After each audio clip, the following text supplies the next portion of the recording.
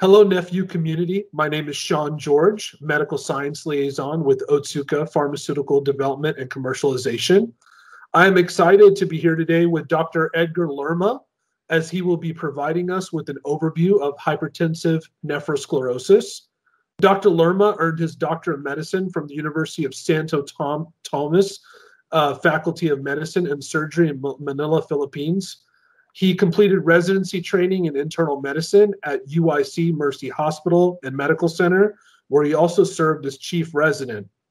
He completed a fellowship in nephrology and hypertension at Northwestern Memorial Hospital, the Feinberg School of Medicine at Northwestern University, and the Veterans Administration Lakeside Medical Center in Chicago, Illinois. At present, he holds the rank of clinical professor of medicine with the section of nephrology at the University of Illinois at Chicago. He serves as the educational coordinator for nephrology with UIC Advocate Christ Medical Center. And we just want to thank you so much for being here today, Dr. Lerma. Thank you for having me, Sean. So, um, so we know that hypertensive nephrosclerosis is one of the most common causes of end-stage renal disease worldwide. Can you do? Uh, can you provide a, just a brief overview of what hypertensive nephrosclerosis is? So, hypertensive nephrosclerosis, Sean, is is a disorder that is usually commonly associated with chronic hypertension. Um, there are several factors that are involved. Being black uh, is associated with an eightfold increase in the risk of hypertension-induced end-stage kidney disease there's actually been some literature alluding to the association between the APOL1 gene and kidney disease in African Americans. Now, when we say hypertensive nephrosclerosis, it actually includes FSGS and hypertension related end stage kidney disease. Now, can you uh, provide a basic overview of the pathophysiology of the disease? Well, you know, before I go into that, you know, um, I have to say the term hypertensive nephrosclerosis is actually considered as a misnomer by many. Um, as the name implies, it implies that hypertension is the cause of nephrosclerosis rather than vice versa. Which you know, again, it, it is not a, uh, it's not like black and white like that. If if we go historically, the term nephrosclerosis, which actually means kidney hardening was actually coined in 1918 by German clinicians and pathologists Franz Volhard and Theodor Fahr. And the etymology really refers to the hardened consistence of the kidneys after they are cut uh, during autopsy. The hardening suggests tissue fibrosis and, in essence, can apply to most chronic kidney diseases. In fact, nephrosclerosis is in a way, an easy way out for classifying any case of chronic kidney disease in a hypertensive and or aging patient in the absence of a kidney biopsy. So if you um, if you talk about the pathophysiology of the disease and we, we look at hypertensive nephrosclerosis under the microscope, um, when one thinks hypertensive nephrosclerosis, we have to look at the the vascular the glomerular and tubular interstitial involvements. So vascular-wise, uh, it refers to the intimal thickening and luminal narrowing of the large and small renal arteries and glomerular arterioles. These are usually brought about by an initially adaptive mechanism um, or a hypertrophic response to chronic hypertension. Um, histopath histopathologically, this is manifested by um, medial hypertrophy and fibro blastic intimal thickening, and then there's subsequent deposition of hyaline-like material uh, into the damaged, more permeable arterial wall. As far as the glomerular component, the glomeruli exhibit both focal global as well as focal segmental sclerosis.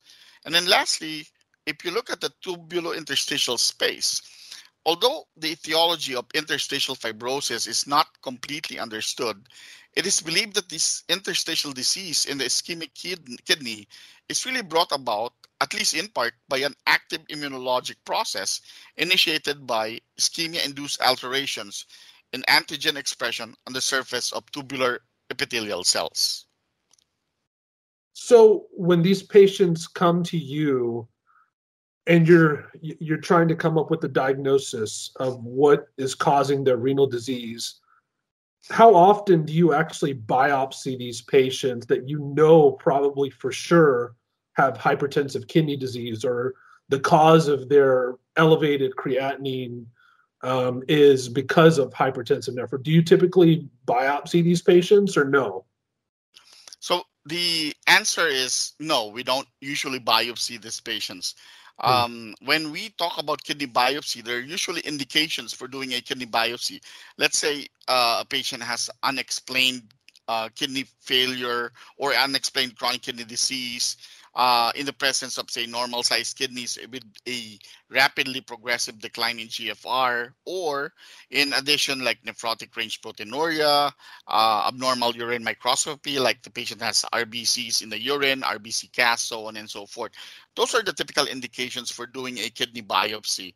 So when these patients with the hypertensive nephrosclerosis present, they don't usually uh, meet the criteria for performing a kidney biopsy. Well, thank you for answering that. So that kind of leads me into my next question. You kind of partially answered it already already, but what do these patients with hypertensive nephrosclerosis typically present with clinically? And what do you as a nephrologist look for as you work these patients up? What, what does your workup look like? So, uh, Sean, to answer that question, one really needs to appreciate that, as I said earlier, nephrosclerosis is seen with normal aging but is exacerbated by chronic hypertension. So um, most of my patients, well, I, I, guess all of my patients, I always tell them that as we get older, our kidneys go down in function as it is part of normal aging. If you look at it from that perspective, you can you tend to understand that there will be three major groups of patients who will be at increased risk. So African Americans, African Americans, those with more marked elevations in blood pressure, and those with underlying chronic kidney disease. Uh, an example are, are those patients with diabetic kidney disease. Clinically, they usually have a long history of hypertension, uh, most often accompanied by left ventricular hypertrophy, uh, slow progressive rise in BUN and creatinine, as well as a normal urinary sediment. One characteristic is that these patients have mild proteinuria. They're non-nephrotic. The proteinuria tends to be less than one gram per day. And this generally reflects the nature, the focal nature of glomerular involvement. One lab test that um, is uh, commonly seen also is the presence of hyperuricemia independent of diuretic therapy. Some um, clinicians actually suggest that this is an early finding and may actually reflect the decreased renal blood flow induced by the vascular disease. And another uh, test that we commonly order are imaging studies, say like a renal ultrasound. And in usually they tend to show normal size kidneys, but at times when it's chronic, uh, you could see uh, bilateral renal atrophy or uh, shrunken kidneys. So with that said, the diagnosis really is usually inferred, and I, I have to emphasize inferred from the characteristic clinical features mentioned and the exclusion of other kidney diseases since as we said earlier kidney biopsy is not usually indicated so it is not frequently performed what we usually see in clinical practice is that hypertension typically precedes the development of either proteinuria or kidney insufficiency and there is no obvious cause of kidney disease in these cases. So, in, in a way, you might say that the, the most definitive way by which you diagnose hypertensive nephrosclerosis is really by a kidney biopsy. Um, but going back to your question, it is not typically performed in these cases. So again, the diagnosis is pretty much inferred from the clinical picture. So I just wanted to take a step back and something you said earlier about patients with diabetic kidney disease as well. So, do patients with diabetic kidney disease typically also have hypertensive nephrosclerosis? Do you see that in your practice that they're kind of they, you see both um, in these patients, both diabetic nephropathy and hypertensive nephrosclerosis? So, majority of the patients um, who present with chronic kidney disease have both diabetes and or hypertension yeah. so it is it is uh, something that's really very common in ckd clinics that you see these two diseases sort of hand in hand in causing progressive renal decline. And that's why the treatments mostly uh, are geared towards treating both diabetes and hypertension. As in the end, they sort of share a um, a, a single pathway that leads to glomerulosclerosis or uh, renal atrophy. Right.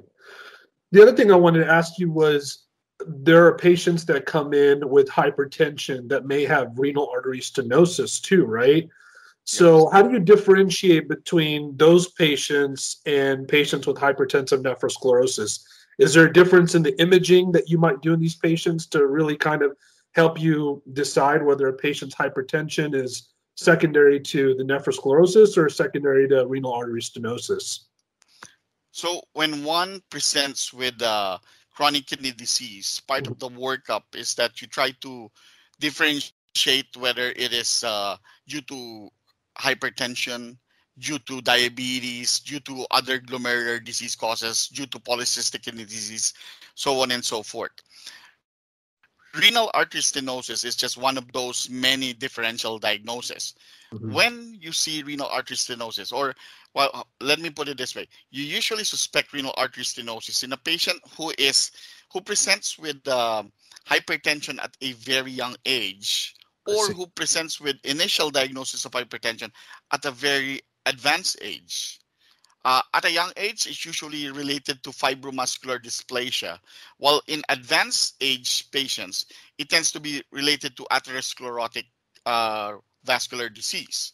So those it's it's kind of a different pathway, and um, again, when we work patients up uh, for well, let's say when they present for the first time with chronic kidney disease, we have to consider each of the differential uh, and move along each of them before we say, okay, this patient most likely has hypertensive nephrosclerosis or diabetic kidney disease, so on and so forth. Gotcha. So my next question is, what does the progression of this disease look like over time? Can you elaborate a little bit more on the association between hypertension and progressive kidney disease? So let, let, let me put it, to answer that question, let me put it this way. So the, the two most common causes of kidney failure in the US are diabetes and hypertension. Um, hypertension right now is the second most common cause of end-stage kidney disease in the United States if we look at the trials, uh, I, will mention there's a couple of trials that are important uh, in this in answering this question. There's the MRFIT trial, which is multiple multiple risk factor intervention trial, and the HDFP uh, or hypertension detection and follow-up program. And both of these trials seem to explain some of the reasons for the increased incidence of hypertensive nephrosclerosis as a cause of end-stage kidney disease and why they progress. Uh, so number one, we have to consider the number of hypertensive patients is so large, such that even a small number or small percent of the at risk constitutes a large number. Number two, the rate of progression is generally too slow, such that many patients at risk cannot be detected by even five to seven year studies. Third, in the absence of a kidney biopsy, which we discussed earlier, many patients, particularly non-blacks, diagnosed as having hypertensive nephrosclerosis may actually have a different cause of kidney disease. And lastly, we have to emphasize that African Americans tend to have a unique genetic variant. This is the APOL1 gene that likely interacts with hypertension, which is responsible for their propensity to developing FSGS or focal segmental glomerulosclerosis, as well as end-stage kidney disease. So I wanted to ask you when uh, typically these patients are diagnosed with hypertension, typically probably at their primary care doctor's office.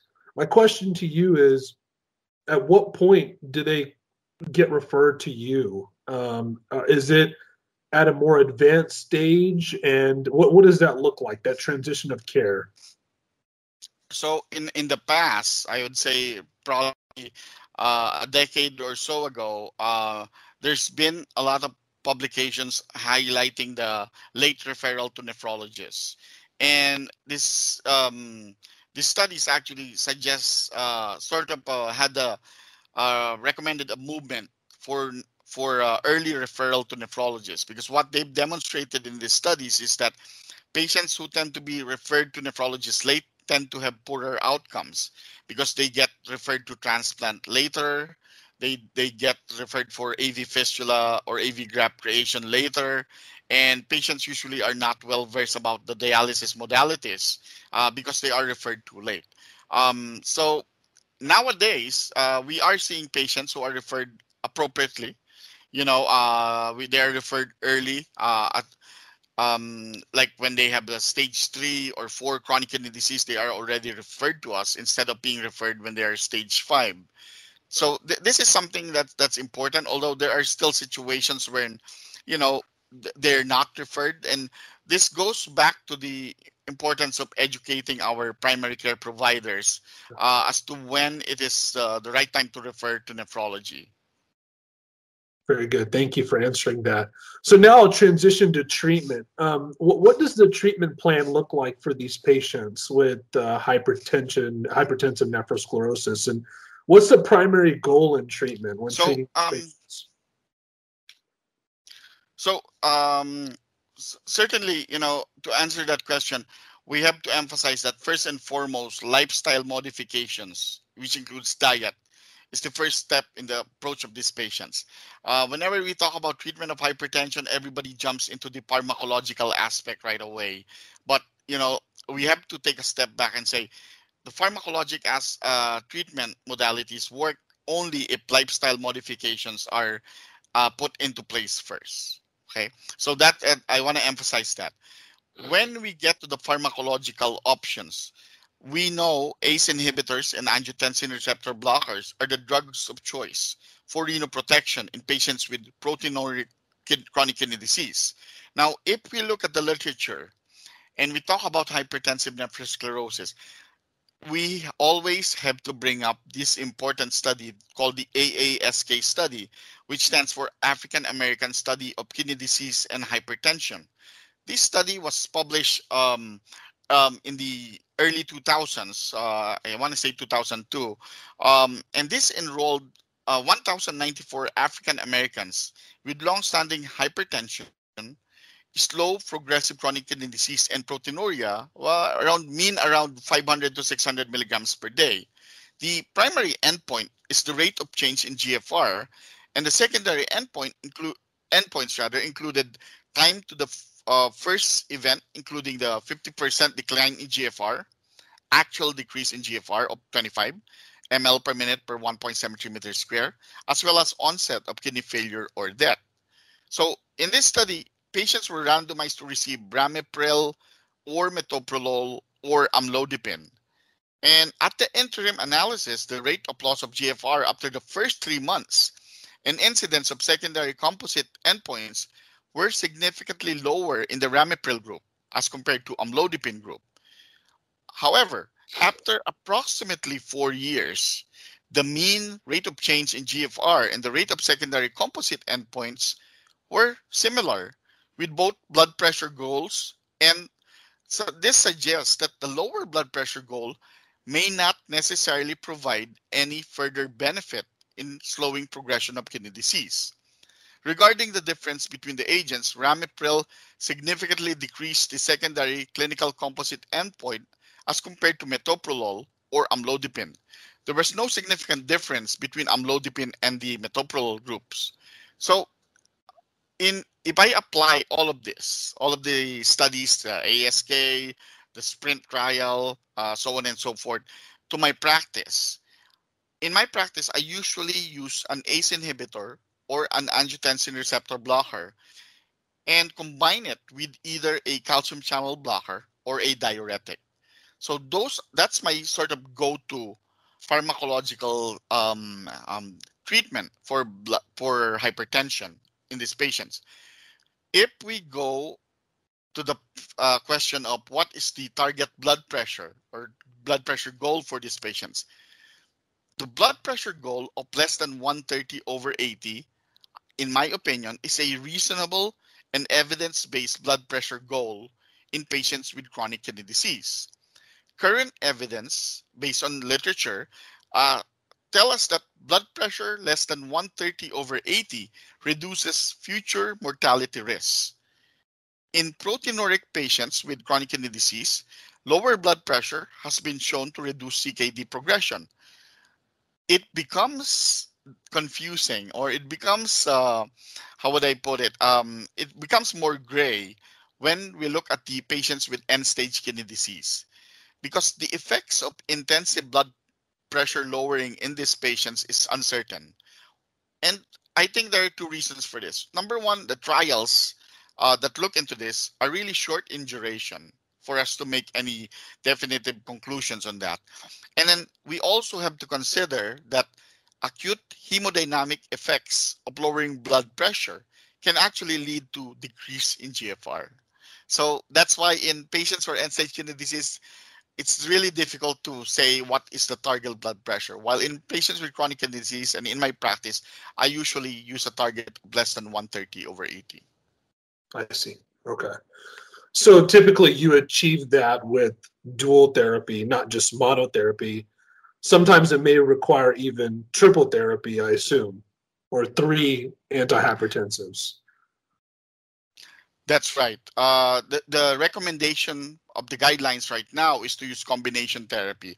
And the reason for using combination therapy is because you are actually addressing different aspects of the blood pressure equation. Uh, and in so doing, you're able to use lower doses in getting a target blood pressure of less than 130 over 80. In the past, uh, there used to be something called the step care approach to treatment, wherein they start using the maximum dose of the medications before they add the other medication. That approach actually was abandoned simply because by the time you get to the next medication, the patient has already been suffering from side effects of the high dose of the first medication that was used. I see. So thank you for providing this very comprehensive overview of of hyper, hypertensive nephrosclerosis. I think the takeaway today is that uh, this is a complex disease. It's not uh, just hypertension, but it's uh, you know it's it's a more complex disease than that. And uh, I really appreciate you going through each and every aspect of it, including pathophysiology, diagnosis, as well as treatment. And also want to thank uh, the NephU community for tuning in. And we hope that you enjoyed this discuss- discussion on hypertensive nephrosclerosis. We will see you next time here on NephU. Thank you.